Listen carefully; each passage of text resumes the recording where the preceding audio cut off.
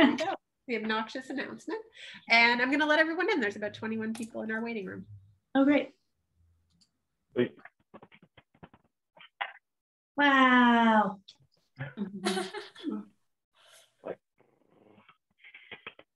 And they come.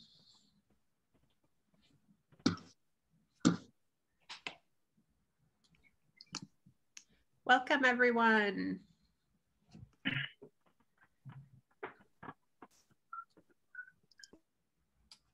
Thank you for your patience as we navigate this tech world.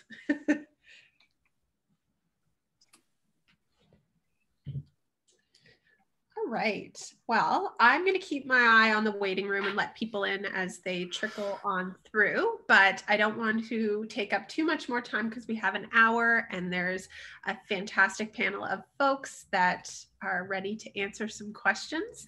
Uh, so I'm just going to start things off by doing a land acknowledgement. ECMA would like to acknowledge sorry, that we are all in Mi'kma'ki, the ancestral traditional lands of the Mi'kmaq people. Our artists, staff, and supporters acknowledge the peace and friendship treaties signed in this territory and recognize that we are all treaty people.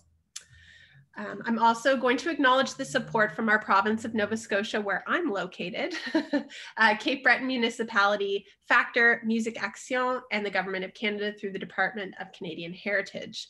And I'd also be remiss if you don't notice my background. We are sponsored, our conference this year is sponsored by TD, uh, and it is because of TD that we are able to offer this conference free of charge to all delegates that want to attend. So we're really grateful for that. Um, we want as many of you folks to join us as possible, and it's because of them.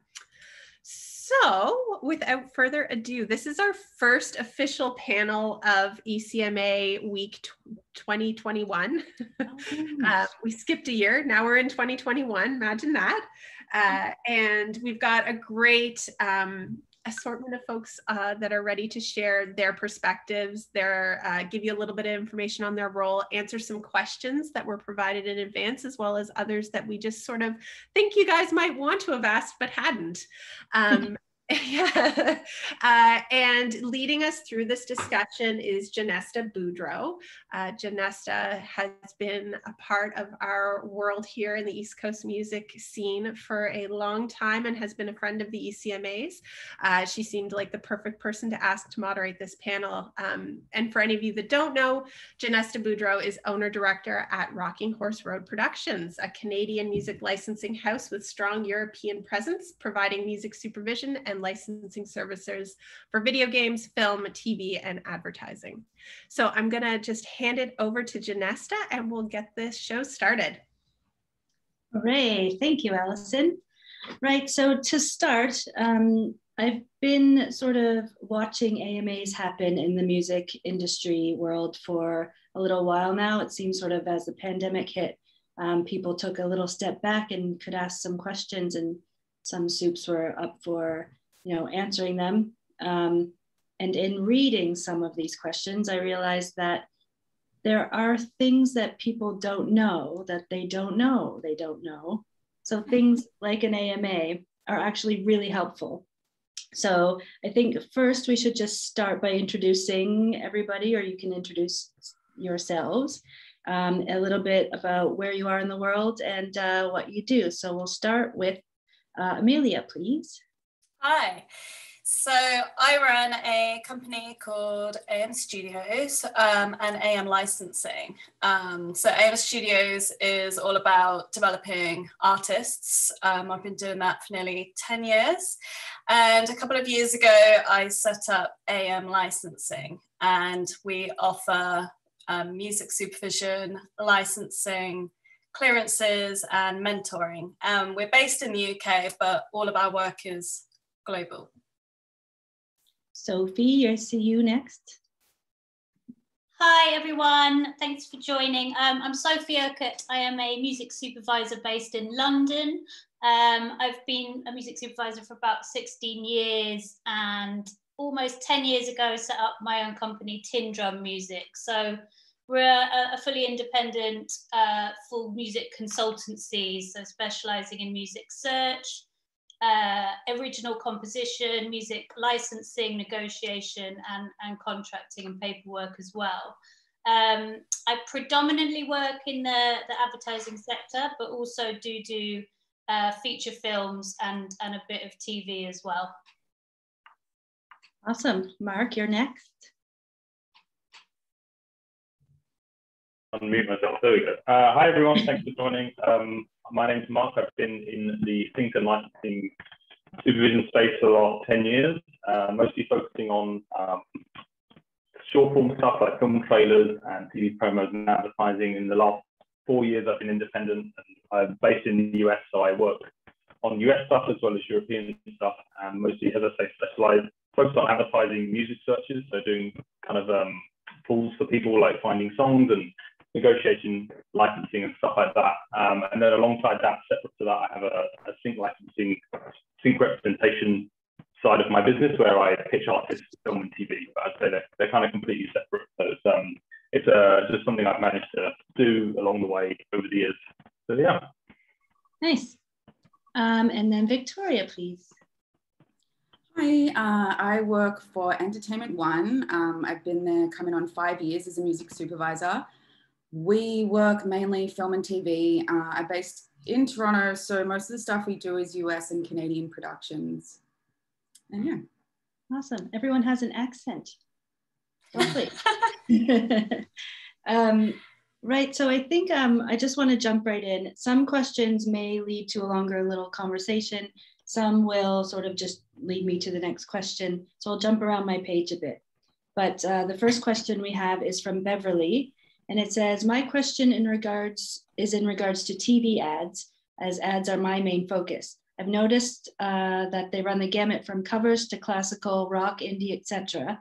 Can the music supervisors let us know what music works best for ads and what gets noticed by music supervisors? I can go, yeah, I'll, I'll jump in on that quickly. Um, I think, so um, yeah, I've been doing music searches for ads for really big brands for the last three years. And it's interesting because obviously there's, there's trends and there's things that come and go, but I think consistently, you know, it's um, I mean, a big. I think one of the struggles, especially for up and coming artists, is obviously you know with advertising they want nice to see them something famous, and that obviously um, you know obviously if you're not famous or you know that's, that's a struggle in terms of trying to you know there's so many decision makers in the ad process.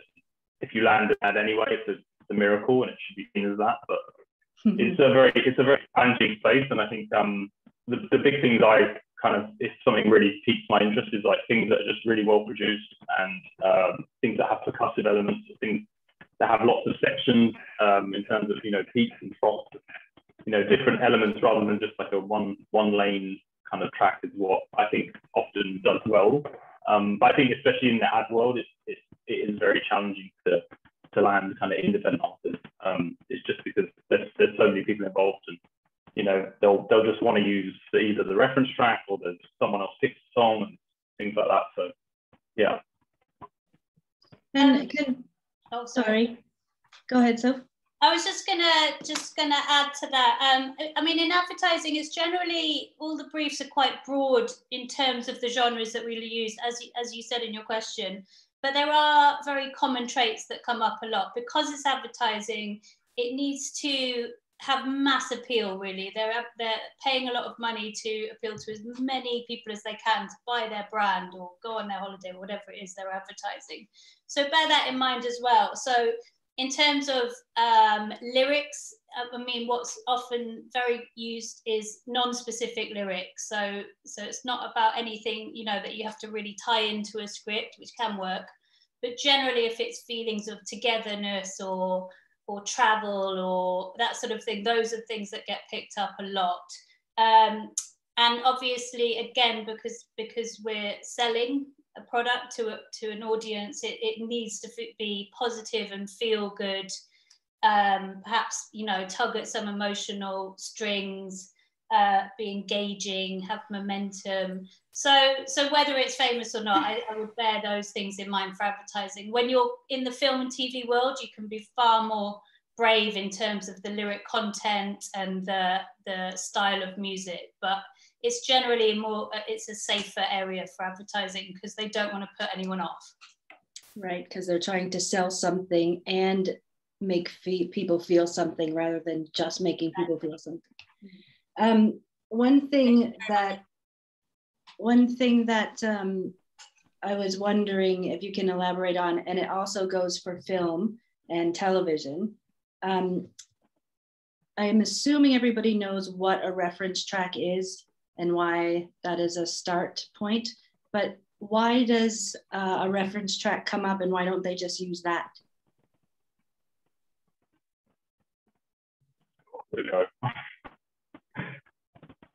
I can take this up. Yeah, so I think um, the reference track is, you know, it's a very easy way of someone trying to get across what they're looking to achieve in terms of whether tonally or, um, you know, the the lyrical content or how you know how it makes someone feel. And I think the you know briefs can be as simple as just a reference track.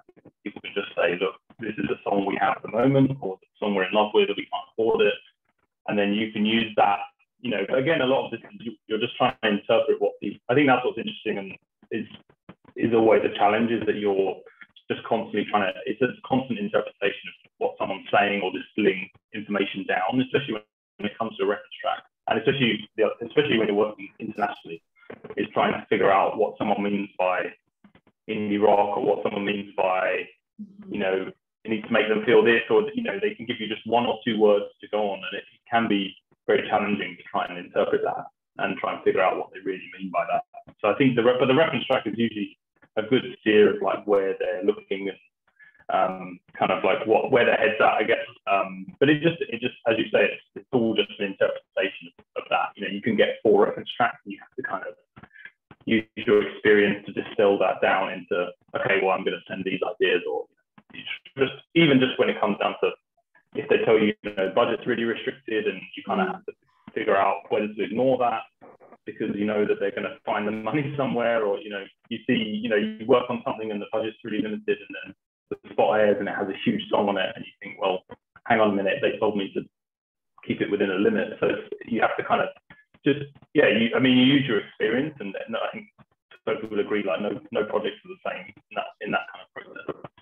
Mm-hmm. And you did say, Mark, that within the advertising sphere, especially, there are people in addition to a music supervisor who are sort of steering the conversation and what the needs are. Uh, is that the same? Anyone can answer this one um, between sort of television and film, ads, trailers, etc. Because I know that a lot of people do think that a music supervisor gets free reign to pick songs and you know put them in, um, but is that always the case? No, uh, ultimately, um, in my experience, um, it's for the film that I'm working on at the moment is the director's decision. So I will curate songs, um, give suggestions, put them across, but ultimately it's going to be the director's decision on what gets used. Yeah, and um, in TV, it is up to the showrunner, and often they will write the song they want into the script and then they're so attached to it that you that they really want to try and have it um, and it usually doesn't work because of budget especially on canadian stuff. But yeah they, i find that they often get really attached to the songs that they want. And yeah sometimes it is hard to give them a, a replacement for it. Mm. and what would you say between the actual creative part and the actual paperwork and licensing and negotiation and finding people and who owns the song part mm-hmm. um, does your job sit? Is it sort of 50-50 or is it more licensing? It's, it's definitely more like admin. I would say it's probably like 75% admin 25% creative. Mm-hmm. there's a lot of negotiations that go on um, a lot of back and forth with everyone. So yeah and it changes on each production. Like sometimes they're just they're open to us being really creative and and you know um, giving them options and they usually work but sometimes you work with people and they just want what they want. Yeah i think that's a good point about the sorry i think that's a great point in terms of the, the, the directors and the you know you're kind of part of your role as a supervisor on film and TV, especially, is to facilitate, you know, facilitate the, the director's dream and kind of help guide that, especially when it comes to, you know, cutting into, to, you know, you have obviously start with a wish list usually, and then you kind of have to cut it down, usually pretty substantially. So obviously, um, you know, as you say, I'm sure with some projects you get a lot more free reign, especially if budgets are limited.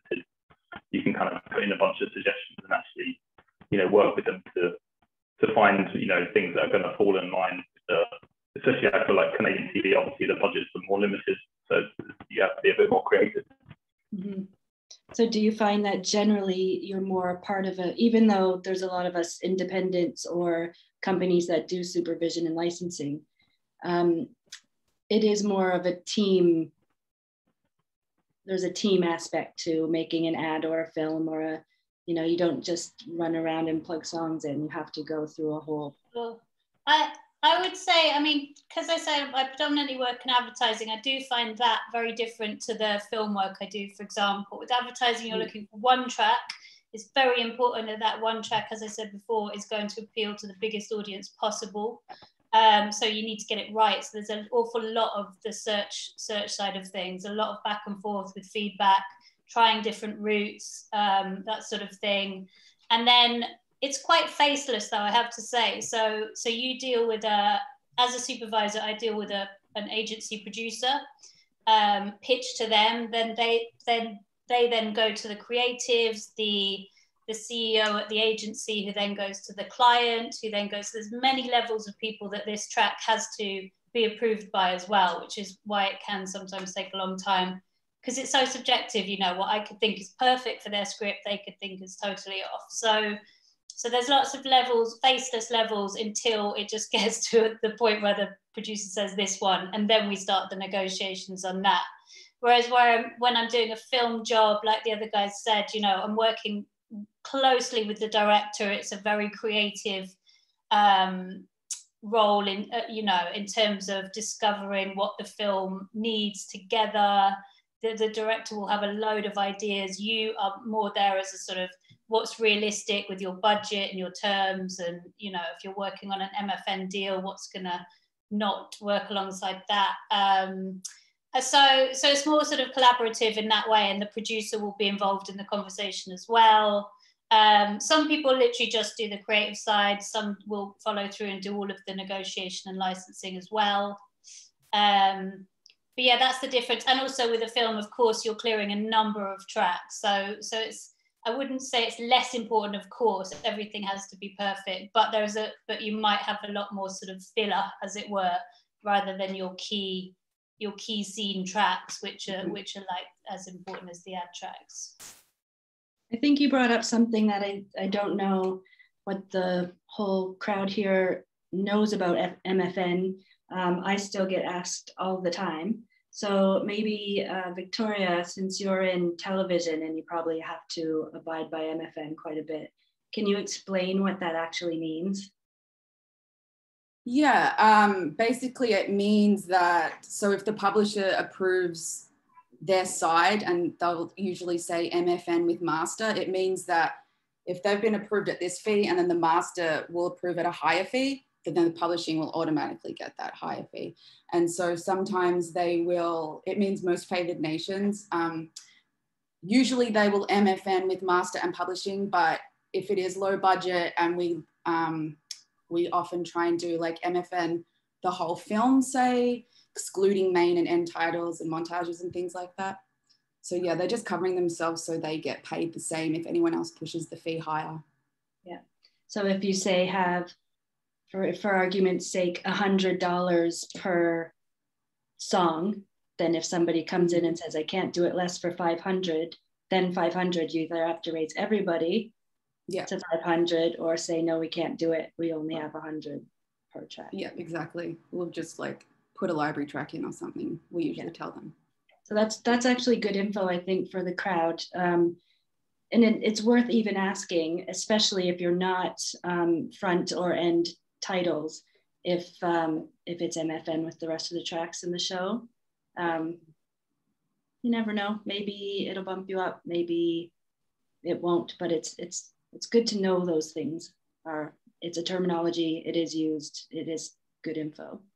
Um, so you were talking, Sophie, about you know films and having to work with the, uh, the director and realizing their vision. But I know that you've worked on a, at least one documentary in particular.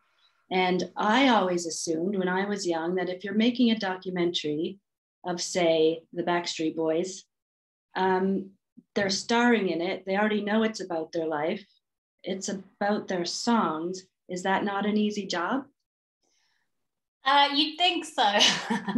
um, the reality, I've done quite a few uh, music documentaries actually, and the reality is they can quite often be a much harder job than, than a regular, than a fiction film.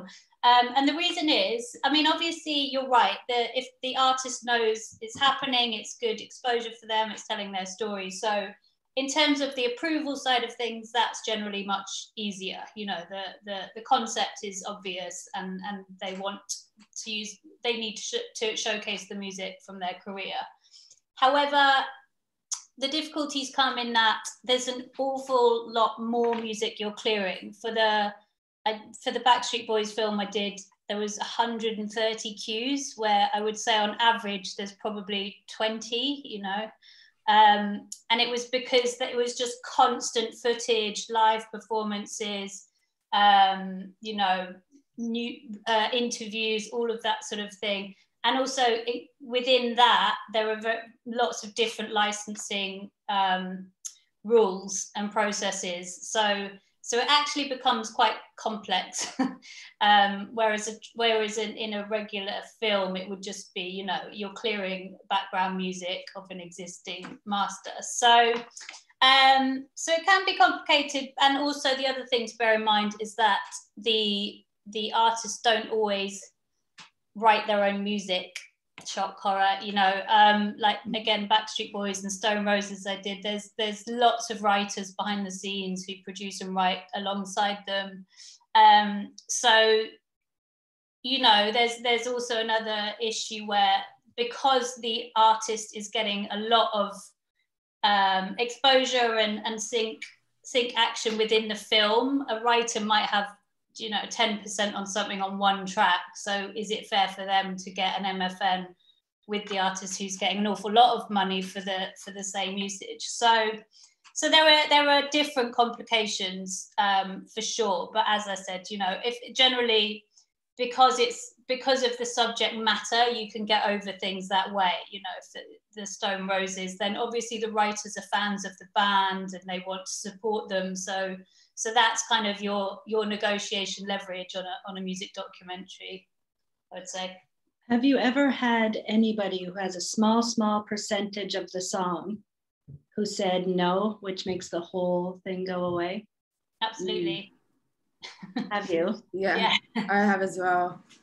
Okay that, I was just that brings up on... a really i was going to say go ahead. Some i want to hear your horror stories now so go ahead uh, I was just going to say it happens so much in hip hop. Like we oh, okay. just did a couple of episodes for Behind the Music. Um, one of them's on LL Cool J. We had to pre-clear like 80 songs and just the time it takes to find all the writers. And we had this one guy, he owned like half the song on one of LL's songs and he just was like, no, I don't want to do it for these fees because I want to send this contract to my lawyer and it's going to cost me like way more than I'm getting uh, oh. for the fee. Um, and it, yeah, it was MFN, all songs in episode pro rata to their share.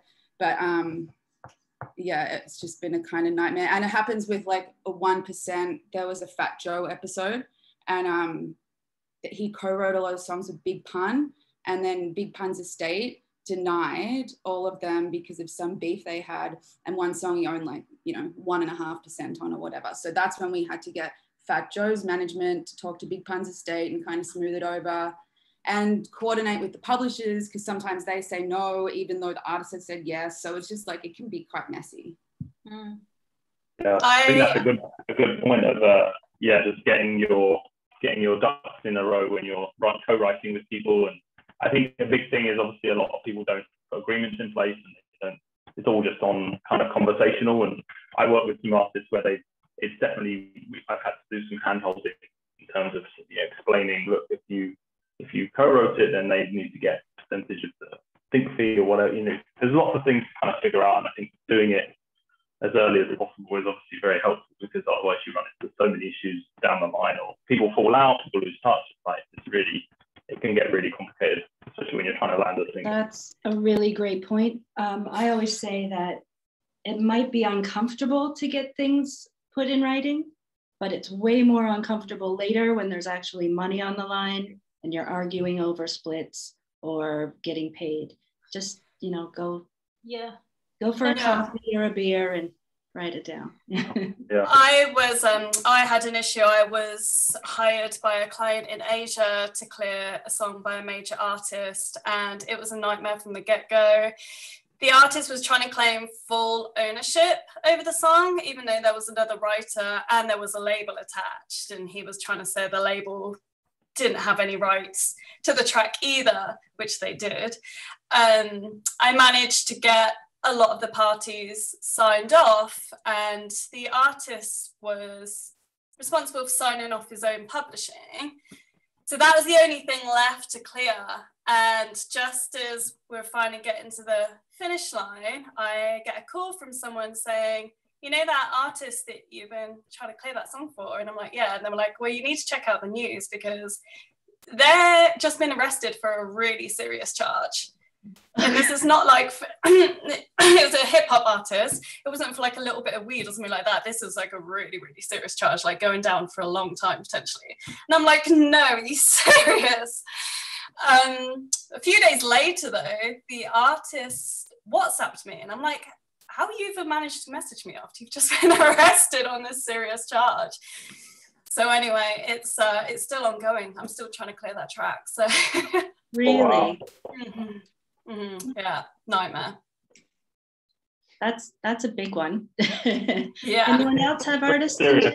it's, it's definitely worth, like Mark said, it's a really important thing. So, you know, you could have 99% of a track, but check that 1%. I mean, um, it's, it's, it, because if it's, if there's any um, issues with it, then you can't use the track at all. Of course, 100% of everything needs to be fully cleared and approved at the same rates for anything to go ahead. So it can really jeopardize you. Um, and yeah, I think it's a common misconception that, you know, um, uh, small tracks are easier or lesser known are easier to clear. It's not. It's not always the case. I think one of my most difficult ones was a was a small budget folk track, um, and there was a massive family feud uh, involving ex-wives and all sorts, like fighting over who thought they owned the rights to it. And and again, it got so far into this that we that we lost that. Actually no we did find we did we did manage to make everyone kiss and make up at the end and agree to it. But but but yeah it's it's definitely it's one of those things that you know very often someone will go we want this track. Great go and get it for us. And and that's why you hire a supervisor because because it's crucial to just look into every legality of it otherwise you can face massive massive um, copyright issues and infringement laws um, if you don't do it properly so Yeah, that's a very good point. It, this is not on my Ask Me Anything sheet, but um, you being the music supervisor and making sure that everything's cleared properly, this means that anyone hiring you to do so is trusting you, you legally that they won't get sued. Is that true? Yes, you're you're acting as the middleman between the licensee and the licensor. So, based on your experience and your legal um, advice and everything like that, you you will be the one who's negotiating the deal, writing up the contract, and ensuring that all of the right legal terms are in place in order to, for that to happen.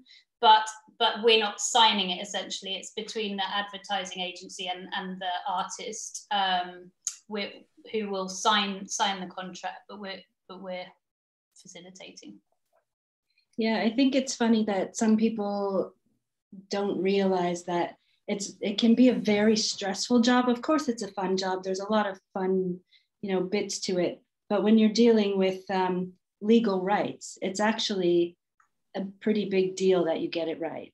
So music supervisors who tend to complain that you know you didn't label that properly or whatever, um, there is a reason for it, and not just that it makes things easier at the end of the day. It just makes things also um, less likely that we'll get somebody sued, which is always a good thing. Sure.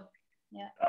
Yeah, and I think that's the thing. Is, I mean, it's um, I think that what I've noticed, especially is, uh, especially up and coming artists um, who obviously, you know, they work with a producer, they give the producer five, 10%, something like that, and then they kind of don't realize how that may may impact either sync licensing or they don't even have any kind of agreements in place about you know what happens if you land a sync. That's the thing. It's obviously just you're trying to get a song done, you want help, and that's been I've definitely helped people in that sense in terms of just figuring out because um, obviously you know when we when we talk about this stuff, we've been doing it a long time, and we say these things as if they're like second nature. But it's interesting because you do, you know, even recently um, was working with an artist from Denmark, and they didn't, they just they'd done a similar thing where they someone had produced the vocals on a track, and they had they'd given them a percentage of the, you know, the royalties. They just saying, oh, we gave them the some of the royalties, and it's like, well, yes, that's technically the thinking. You know, you were talking about they're registered on the PRO, you know, they're registered as a writer, so you know, you have to, you have to decide because especially if you land a big sync and there's a lot of money involved, it could get missed. You know, they, if they see that on TV and they didn't get any money for it, mm. and they technically are listed as a writer, you know, that could get very complicated in terms of, you know, whether that's, you know, there's, there's you know, again, it's like all these kind of handshake deals, and it's, as you, as Janessa said, they're difficult conversations to have. Uh, but I think people are more educated than ever about this sort of thing, hopefully, you know, in terms of um, generally speaking, just with all the information available. And it's, uh, you know, it doesn't have to be that complicated necessarily, but it's definitely, you know, they're difficult conversations to have, especially when you're trying to figure these things out. Um, as Sophie, I think as Sophie, you know, as you can kind of hear from everyone, it's like the, the job is is so admin heavy sometimes. I think the, the role of a music supervisor is just such goes from literally just like this very kind of abstract creative process that, you know, here's a reference track, do me a search based on this in the next hour, which people can do because they've been doing it a long time, versus, you know, just this pure like 120 cues, 10 writers trying to find, you know, needle in the haystack stuff is, is you know, it can be really interesting and just like being a detective, but it's also, yeah, you're up against the deadline, you have a budget. You know, people get upset when things get denied, which is always a fun one. So, um, yeah, it, it, it can be a lot. Uh, guys, I just noticed that there are actually, there's a chat window, people asking questions. So I will ask some of these questions as well. Um, Beverly says, do the music supervisors send briefs out to licensing agencies with libraries or do they ever work directly with the artists? That's for anybody. Um, I, Go on, you go. uh, for me, um, just to give you a bit of a reality of it, like the, we get very short amount of time to deliver a search now. We used to get a luxury like week long, so I'd love to do really, you know, deep research, speak to artists and all of that. The reality now is, is no time. So based on that, if I was to brief out to everyone, I just wouldn't have any time to go through it all and, and do my own search and that sort of thing. So now I I do brief out not all of them, um, but but it's generally to the, larger and trusted publishers and labels and sync reps. Um, so for independent artists, I would highly recommend sync reps um, because they're they're people that supervisors trust. Um, they know how to respond to a brief well. Um, so it's really all time time management. Sometimes if it's a very specific brief, um, and I know artists in that world, or you know, like I come to fe- festivals and conferences, and, and particularly global ones, and get to know a territory quite well and a sound. Then then I will do much more focused uh, briefing to them. Um, but but yeah, it, as a, as a whole, we also get pitched, you know, on average, hundred emails a day with people pitching their music so it's, it's just it, it's useful for people to hear the realities of it and that's why quite often you don't get a response from people. It doesn't mean that they're not listening and they're not paying attention. It's just it's just the the sheer amount. There's you know and people can release from their bedrooms these days so there's there's no sort of filter as such. So it's it's overwhelming at times the amount of music coming in. So it's really about finding the people that you trust that will pitch well to your briefs and save you time in the long run. Yeah, I think yeah. that's interesting. Sorry, I was just no, no, I was just going to say um, a sync agency and finding how you might fit a sync roster versus pitching directly to a music soup. Um, I know that two of you have sync rosters and or have or had. Um, what do you look for when you're taking on clients to be able to pitch to music supervisors on their behalf? Well, for me, uh, oh, you go first. Go on. Oh, okay. The Zoom, the Zoom. um, the overall production quality is really important because, as Sophie said, you know, a lot of people are producing in their bedrooms and things. Um, so the mix and master is really, really important. Obviously, the song as well. Um, but that essentially is what I look for as two. In terms of composers, I will also listen out for the quality of the sound library they're using. Um, mm-hmm. Because if they haven't invested in, say, a great, you know, orchestral string sound, that's going to make a massive difference to your tracks. And that I've turned down many tracks because of that reason when the overall song composition was really, really good but the sound quality they're using is not good. So I would just say really invest in, in, in great plugins and sound libraries if you're and a composer. Are you, are you quite happy to give that feedback to people? Again, the time issue. um, if I have the time, then I will always try and assist and, and give feedback and help where I can. Um, and I do offer sync mentoring as well in all areas of, of sync, right? From the creative process through to like how to market your songs, things like that. I do assist with that side.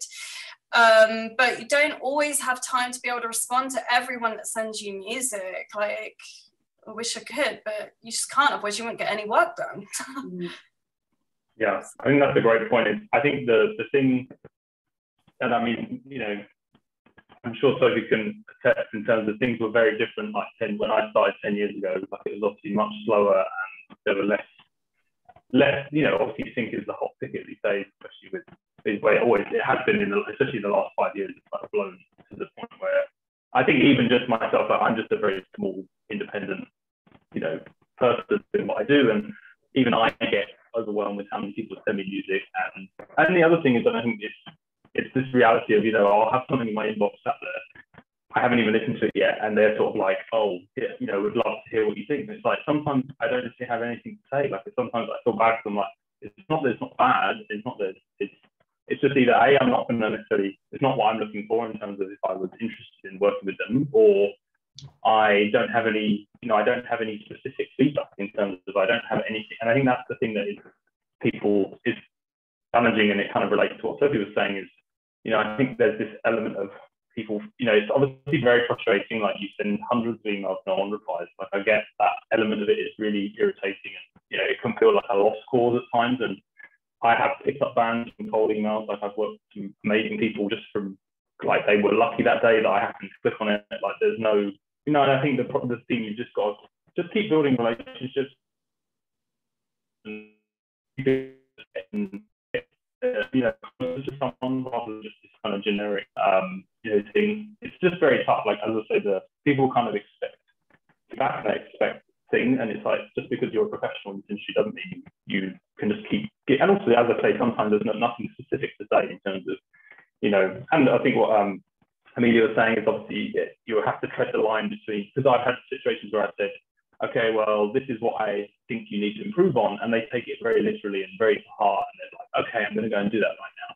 And it's that tough because obviously it's my opinion. I'm just one person, like I'm pretty could be wrong. And you know, I think the other thing, and it even goes back to like talking about pitching to people, is you know we've I've done panels with with big LA TV soups, and they're like, yeah, don't worry about it. I love getting emails from people. I love getting you know, there's like, please send as much music as you want. Like I listen to everything. Yeah. And it just depends. Like it's just it just varies wildly. Like, it just really like some people just want to everything and they they try and or they have teams of people that just download everything.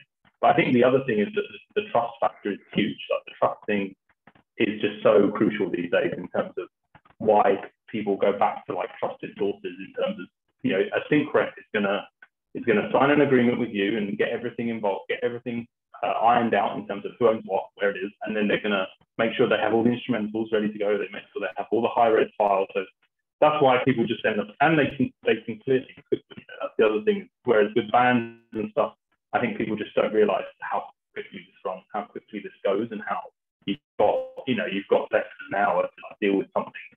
And if you haven't got it all ready to go, you're going to lose out. So I think that's definitely the sync rep side. I mean, yeah, reps get mixed reviews from people. I think obviously because sometimes they don't land anything, but it's obviously just a very crowded marketplace these days. Yeah. That's right. That's all you can do these days. So, say, Amelia, if somebody sends you something and you haven't had a chance to listen, or um, they really want to get your attention and they want to say follow up on their email, is there a sort of right and not wrong, but a, a, a polite and impolite way of maybe going about that? I don't I don't mind people that you know politely follow up but don't keep sending emails saying like have you listened yet? Have you listened? And just being really impatient because that is the quickest way for me not to listen and delete. Um and just yeah just be respectful. Um mm-hmm. yeah I would just say that really. Yeah we're all people at the end of the day yeah yeah and we're not ignoring just busy yeah. Yeah, I think I think what I realized this job is just uh, filing and deleting emails. That's what I've realized over the years. It's just uh, a lot of yeah, just trying to manage your inbox. I think that's why, especially yeah. as time has gone on, supervisors have started to have different email addresses for all the mailers and like, trying to just because it gets too crazy. It's so so um, you know, especially there's lots of lists that go around. People, you know, people sell emails, but and that's interesting because you'll see us finding just like you know, unsolicited emails, you know, but it's tough. I mean, I can see like even lots of companies don't accept unsolicited emails, which again, it's just about either introductions or getting, getting in with someone who's a trusted trusted source to the, especially if you're looking at the big LA TV world, it's it's, uh, it's a really tough one to get in. Yeah, I have a good question here actually um, from Charlie, and maybe this one can go to Victoria. But um, do independent artists need to have a publisher or can they just work directly with the music soup to clear publishing? Um, you don't need to have a publisher but like everyone's saying having you know it helps because the publisher is a trusted source. So you're more likely to get syncs if you have a publisher i would say yeah but you don't need them and you can build relationships through these kind of conferences and other ways like that yeah, I think that as long as you know about sync a little bit, or someone like Amelia, if you don't um, have someone guide you through the terms and check your email, if you really want to pitch something, nine times out of 10, sadly, it doesn't land. But if it does, be on the ball, answer the email, you know, and know what you're sort of dealing with. Um, and that makes you then an easy person to deal with in this music supervisor's Rolodex, which is always good. Mm-hmm. Um, are supervisors more or less keen to sync a track that's been used on another project previously? It's a good one. Um, I I would say that everyone wants to look like they've discovered a new track or, or a great idea. Whether the reality of that is different, but I, it's an interesting question actually because in in advertising again, um, just because you're focusing on finding one the track uh, for the script, it uh, you know the the brief is full of old ads and tracks that they've been used. So they, you know, the, the John Lewis effect, as we call it. Um, I don't even know if you have John Lewis out there actually. It's a department store in the. okay. they, they, they, started doing sort of female whimsical, female whimsical covers of big tracks. You know, mm. there was a Smiths track, there was a Beatles track, there was all that. And then and then that that idea became so popular that everyone was like, we want a John Lewis. so it's kind of contradictory. It's like, well, that's that's not your own creative idea. That's someone else's who did it well. So, um, but um, it, it happens a lot, you know. But then, but but uh, like I would I would say ideally not. They're looking for something fresh idea which mm. something just made me think of actually covers are very popular for that very reason like it's been used somewhere before and it's popular or you know it's just a familiar track that everyone that you that you recognize but you want a fresh take on it you want something ownable um, so so that that's very popular in advertising again because you want this sort of familiarity uh, for the brands and nostalgia and that sort of thing but do a fresh take on it and own own that version of it as it were. Mm-hmm. Um, yeah. I think also in in relation to trailers and TV promos, the unreleased aspect is, can be quite important, especially in terms of um, they really they really hate using cues that have been used on other projects. So that's something that if you're if, if you're trying to get into the trailer TV promo world, it's like very it's um they're very very particular about things that have tracks that have been associated with other films, that's something that they kind of get quite um, quite picky about. And again, just the, the, caliber of these days is so high in terms of trailer and TV promo work. Uh, the music side is, is the quality is so good these days that um, if you really want to be in that space, that's a very I mean, it has you know, slightly more specific needs in terms of you know either bigger crescendos or like bigger bigger elements, it just depends. But and again, covers are still very popular. Um, kind of like interesting takes on on things. Um, but uh, yeah, it's uh, it's definitely a pretty specific area of the sync world in terms of what works and what doesn't, just in terms of builds or you know kind of dynamic shifts. What if you were in? Sorry. So I was just going to say one last thing is like I've had things turned down which they absolutely love the track and it's perfect, and then I've looked into it and seen that it's been used in the last ten years even, and it will just be off the table immediately. Um, and that's because brands don't want any association with other brands. Um, mm. So so if there's any connection from the audience with that brand on their new ad, then it then it's not it's not a good thing for them. So so yeah, I quite often never pitch things that I know that have been used on any adverts in the last five years at least, really. What if it is, so let's say Victoria, um, what if it's something that might have been used background in scene on say a teen mom episode or something?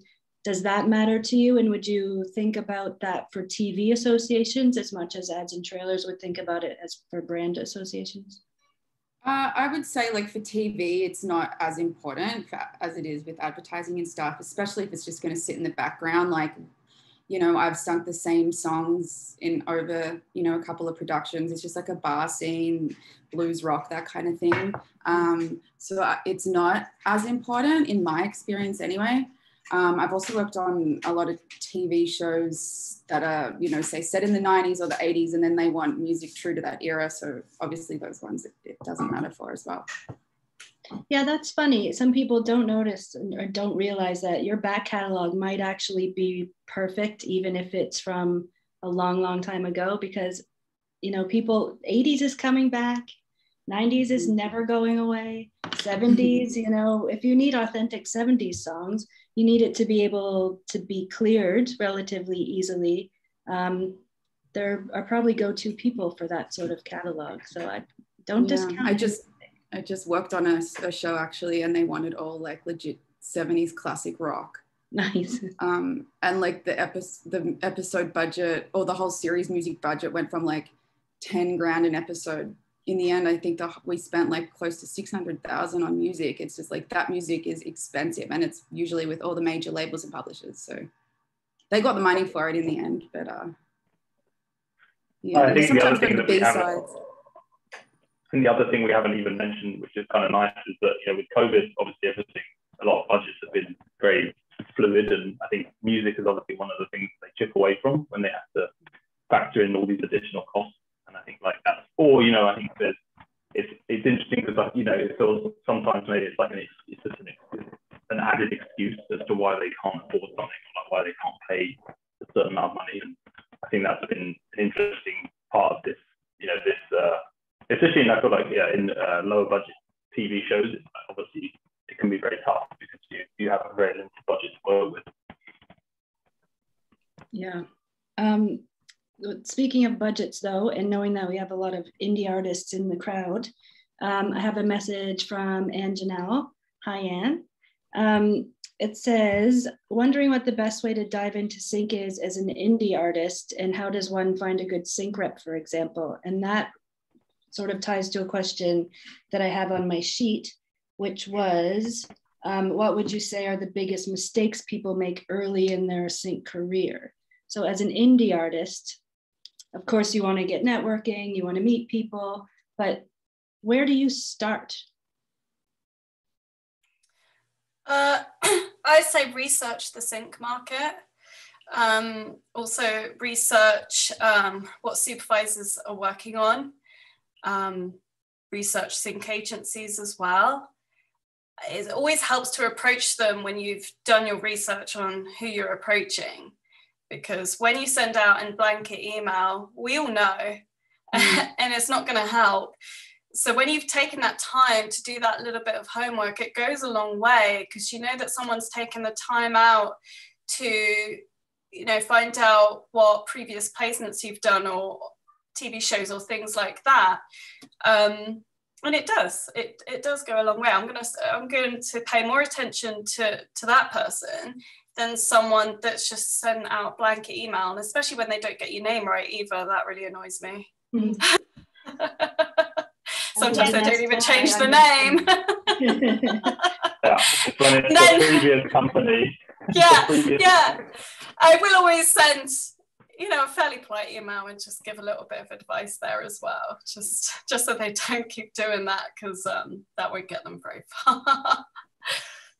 Yeah, I, I agree with with the research because also, you know, think about um, you know, for, for people like me, it's a bit different because I work with all genres, all different medias, and so there's always scope for very varying genres and stuff. But if you look at the supervisor for The Crown, for example, and you're a, a heavy metal band, it's it's just not it's not going to work. It's not going to be relevant for her for her stuff. So um, I say her because I know I know who it is, it's um, so, so in terms of things like that, if your music really suits um, a particular uh, style of TV show or, or film, um, then then target those people specifically. And sync reps as well will will kind of have musical tastes, or you know, they might not just just um, rep every, every genre. So there might be people who are more relevant to you.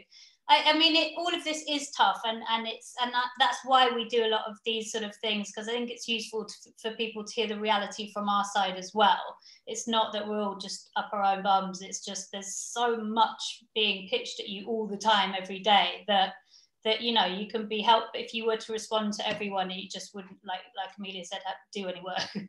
um, so so yeah, I think sync reps are a really good thing. You can you can message uh, supervisors direct. I um I have my I don't know if I should say the, my email on the on the website. So you know, feel free to send stuff through.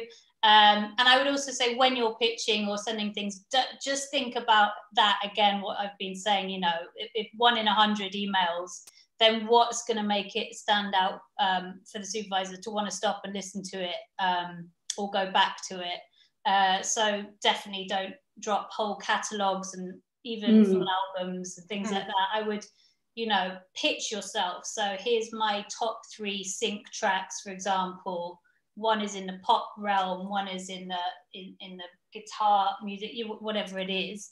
Um, maybe yeah, a little bit of an explanation, perhaps where you think it, it would sit well and then or you know if you're very authentic to one genre or something that's what i want to know because then i might go back to that if i've got a very particular brief and know that, that that i'm looking in the right world and then i can go through the albums and stuff or contact you or the rep and say i know that the the sound is right but have you got any lyrics which are about home for mm. example mm. and then you can help me out that way so so yeah, a few bits of advice. Can I just say it as well, don't take the same song to multiple agencies either, because um, if the the different agencies, if they end up two of them pitching the same song, that's not going to be great for for anyone involved. So just give different songs to different agencies if you want to work with a few agencies. Yeah, that can get confusing for the supervisor Messy. not knowing where to go. Yeah. Yeah. Um, I have, I know we only have three minutes, but there's some really good questions here. So we'll try and go through really quickly. Um, LinkedIn, is that a good way to contact you? If we can't find your email. no, I use it all the I time. Don't use it, but that's it. Personal preference. Yeah, I do. So Amelia, I, think yes. I get I get I use it.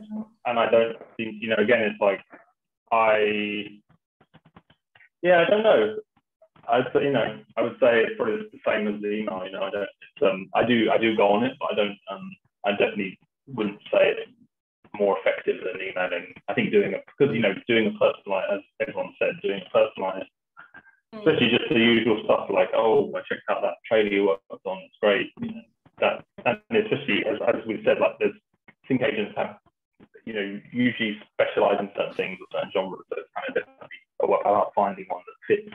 And again from the supervision perspective you know that's what Toby's saying and it's like you you know you're going to go okay right I need like one stop uh, indie or whatever you're going to know who to go to specifically rather especially if the sync agent just kind of has everything you know it doesn't people get a bit confused and they don't really know what to go to them for especially if, if um you know it's time limited which it usually is So basically use LinkedIn and those who respond may respond and those who don't won't. That's uh, Yeah. I think again, just personalize it. Like I have, I have like 400 plus requests in my box, and it's just none of them are personalized. But I'm not going to just add random people. I don't see that just because we have like one mutual friend. I don't see. Again, it's like a very Yeah. odd social media anyway, but it's just interesting because there's people just adding random, you know, music producers. It's like I don't know what this is gonna, what this will entail. You know, what, what's the point of this? You know, it seems it seems kind of pointless. But yeah. That's true. Yeah. And um, a good one from Joanna here. Um, do you have to be able to edit your track quickly for sync if um, if they want you to cut something out, etc.? Do you have to be prepared to do it basically in an hour? Or does it just matter? It depends on the time. Yeah, I would I- say Sorry. I would say yes, it's really valuable if you can do that. Um, again, in the advertising world, what we're quite often looking for something that works in a 30 or a 60 second um, spot. So, you know, it might be, it, it, and a lot of the time, again, we don't have the time to edit it ourselves. We might be like, look, we, we love that beginning bit and the end chorus. Can you do a quick edit? Or instrumentals are very valuable because there's often a lot of VO, so they just want to add a few bits of lyrics, but not the whole, not the whole thing. So if you're on hand and are able to do that, then I then I think it's really useful. But it's not one of those things. Don't don't preempt it because because there, there's no point. We wouldn't want to waste your time. But but it's also not mm-hmm. the end of the world. So if you're not available and you can't, then we can still pitch the track, and you know we will try and edit ourselves where we can. Mhm. Um, Um, do we have, I know it's 4.30, but really good question. What's a good subject line for an e intro email to a music supervisor that you don't know yet? Hey, music supervisor, you don't know me yet? listen to me. I think I've had some good ones. regret it. I think- yeah. Oh, I've had yeah. That's I, I don't know. The thing is, I read those ones where they're like, "This is gonna blow your mind," or like something so ridiculous. You're like, "Oh, okay." You're like, "Okay." If you correctly spell out super casual, super, super fragile, I don't even remember it. Expialidocious. That's right. Yeah. You know, you're just showing off now. Those, those can work.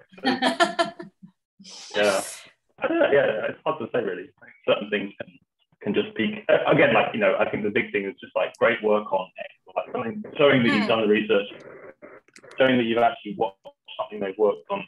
I mean, I say this like in terms of uh, you know, I do that on the client side, and that doesn't work sometimes. So it shows you, you know, you can literally be like, I love that ad you did. It was life changing, and they still won't reply. So it doesn't, it doesn't always. It's, uh, it's a tricky one. You just got to keep keep going with it. So Cool. I think Allison's going to tell us to get off the internet. Well, Well, it was really, I was waiting for a good moment. I think there were some really fabulous questions. And I wanted to just thank Janesta for being our amazing moderator. She came with a lot of questions. You and the audience came with some great ones to add. And I think it was a really round, um, well thought out conversation. Uh, I want to thank Amelia and Sophie and Mark and Victoria for um, sharing their knowledge with us today. Hopefully, everyone was able to take something away from this that will help them uh, gain some success navigating the sync world. Um, I know that most of you uh, on our panel will be participating in our export buyers program, so you might see them around um, at one on one meetings or they'll be attending some of your showcases if you are on our export stage. So thank you, everyone. And uh, I hope to see you at some other panels today and the rest of the week. Awesome. Thank you, guys. Thank you. Thank you guys Thanks so for much. having me. Thank luck. you. Bye. Thank you. Yeah. Bye. Bye.